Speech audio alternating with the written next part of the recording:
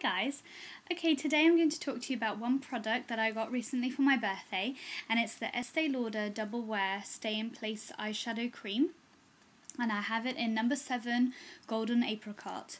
This is really good, it's really new um, out from Estee Lauder and they have a few colours like pinks and slate greys and think like a greeny colour.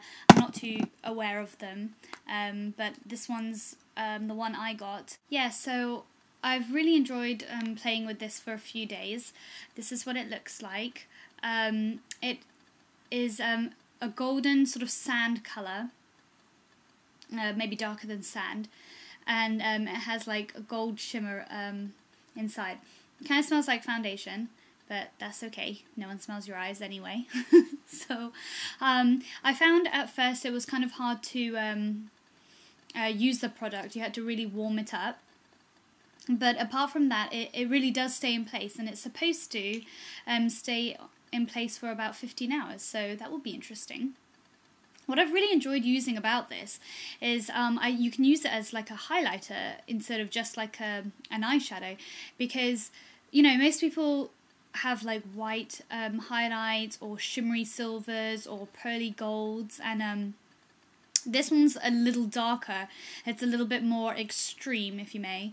And um, I think this will be so good for the summer because it will really emphasize like that golden bronze tanned look that you might have or that theme that you're going on you know with nude lips or golden lips and um, you know like bronze blush and whatnot and this this will just like really add it. It will make your eyes pop especially if you do coat this all over your eyelids and then you put some sort of gold shimmery or copper or I don't know any warm tone like dazzle dust glitter pot or some you know something like that. I think this is a really good base for that. It will it will like sort of um, shine through as well if you may. And um I think it, really picks up uh, the intensity of that like glitter dust or dazzle dust whatever you're using. I have tried it and it really it really looks good I must say.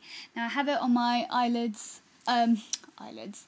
No I have it on my brow bone right now as a highlighter if you can see and so you know I have my pencil uh, which actually is dark green so I was trying something out and I really like it. And my brown, brown eyeshadow. And then here you can see it's just like this warm golden. And I've kind of like um, tried to um, uh, blend it. can't think of my words today. Tried to blend it with um, my eyeshadow. And I, I just think it looks really nice and different. And um, and so far so good. It has stayed on. It does stay on really nicely. It's not something where you can't like take it off with a simple makeup remover, but it does it does stay in place. It does it stays put even when you put other things on because it kind of gives you that sort of um as I said, nice base to hold anything else on. Now it is a nice um, eyeshadow just to wear on its own, but I think it looks really nice, as I said, if you put something on top or if you use like a matte brown or a plum sort of purple in the crease and in the V of your eyes, I think that will look really beautiful. It's also like a, a sort of summer evening sort of look because, you know, in the summer you don't necessarily want to have that smoky eye look, but you want something quite quite there but not you know, maybe not as intense, maybe not as dark, still bringing out this, you know, because summer evenings are generally lighter than the winter, so you can have that sort of goldy look and then intensify it, make it darker, make it smoky without overloading your eyes with just black or, you know, slate grey. So, um, I think that that would be really nice. Um, I don't know how much it is because I got it for a birthday present, but um, I don't. I think it'd be pretty much worth it actually, just trying one of them out at least if you want to.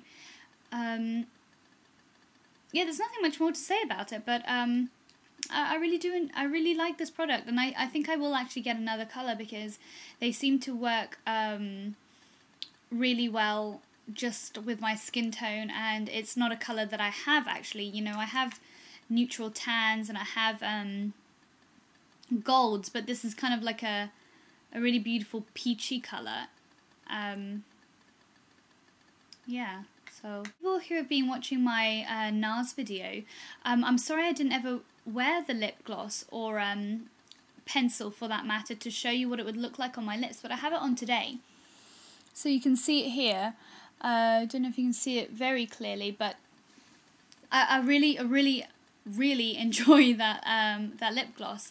Um, it does, you know, does look like a lipstick with a gloss on top, or you know, it depends how much you put on it. And I especially like the pencil because it's very soft, and you know, sometimes you put lip pencils on and then you can't really like, um, you know, move your lips with it because it's kind of dry and it like just you can't. You have to use like a brush instead. But this you can really like rub your lips together and then apply that gloss on however much you want. You know, the more you put on, it kind of looks more plump, and um, and the less you put on, it can just look like a very a very cute gloss on top. And um, I think even the lip pencil would look really nice as just like a matte, a sort of matte color lipstick kind of. I think it looks really nice on its own.